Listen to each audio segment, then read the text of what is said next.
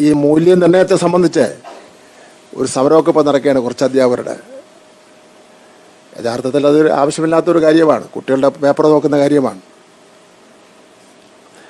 ഈ ഹയർ സെക്കൻഡറിയിലെ പരീക്ഷാ മൂല്യനിർണയത്തിനായി പുതുക്കിയ പരീക്ഷാ മാനല പ്രകാരം ഓരോ അധ്യാപകനും മൂല്യനിർണയം നടത്തേണ്ട ഉത്തരക്കടലാസുകളുടെ എണ്ണത്തിൽ ചെറിയ വ്യത്യാസം വന്നിട്ടുണ്ടായിരുന്നു. ഇപ്പോൾ വന്നിട്ടത്. അതിൽ ബോട്ടണി ബോട്ടണി സുവോളജി മ്യൂസിക് ഒഴികെയുള്ള വിഷയങ്ങൾക്ക് ഓരോ ദിവസവും നോക്കേണ്ട ഉത്തരക്കടലാസുകളുടെ എണ്ണം ഉച്ച ഉച്ചയ്ക്ക് മുമ്പ് പതിമൂന്നും ഉച്ചയ്ക്ക് ശേഷം പതിമൂന്ന് എന്നിങ്ങനെ ആകെ ഇരുപത്തിയാറായിരുന്നു എണ്ണം. ബോട്ടണി സുവോളജി മ്യൂസിക് എന്നീ വിഷയങ്ങൾക്ക് ഉച്ചയ്ക്ക് മുമ്പ് ഇരുപതും ഉച്ചയ്ക്ക് ശേഷം ഇരുപതും എന്നിങ്ങനെ നാൽപ്പതായിരുന്നു. കണക്കെന്ന് പറഞ്ഞാൽ. അത് യഥാക്രമം പതിനേഴ് പതിനേഴ് മുപ്പത്തിനാല് ഇരുപത്തഞ്ച് ഇരുപത്തഞ്ച് അമ്പതായി വർദ്ധിപ്പിച്ചിരുന്നു. അപ്പോൾ സാർമാരൊക്കെ വർദ്ധിപ്പിച്ചപ്പോൾ അവർക്ക് വിഷമം.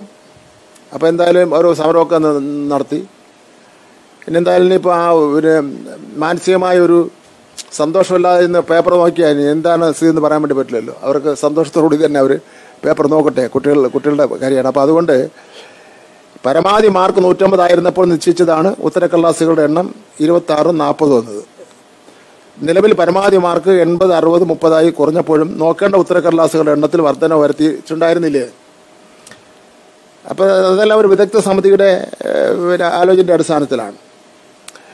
അപ്പോൾ എന്തായാലും പിന്നെ ഇപ്പോൾ അവരുടെ എല്ലാം നിവേദനം എല്ലാ ഒരു ഈ ഈ രംഗത്ത് പ്രവർത്തിക്കുന്ന അധ്യാപകരുടെ നിവേദനം വന്നു അവർ സമരം ചെയ്യുന്നു. ജനാധിപത്യപരമായിട്ടുള്ള അവരെല്ലാം അവരുടെ ശബ്ദം നമ്മൾ കേൾക്കാൻ തയ്യാറാവണമല്ലോ. അപ്പോൾ അതെല്ലാം കൂടെ കണക്കിലെടുത്ത് ഓരോ ദിവസവും മൂല്യനിർണയം നടത്തേണ്ട ഉത്തരക്കടലാസുകളുടെ എണ്ണം പതിനഞ്ച് പ്ലസ് പതിനഞ്ച് മുപ്പതും ഇരുപത്തിരണ്ട് പ്ലസ് ഇരുപത്തിരണ്ട് നാൽപ്പത്തിനാലുമായി പുനർനിശ്ചയിക്കുകയാണ്. അപ്പോൾ രണ്ടും മൂന്നും കുറച്ചു പേപ്പറുകളുടെ എണ്ണം. രണ്ട് പേപ്പറുകളുടെ എണ്ണം മൂന്ന് പേപ്പറുകളുടെ എണ്ണവും കുറച്ചു.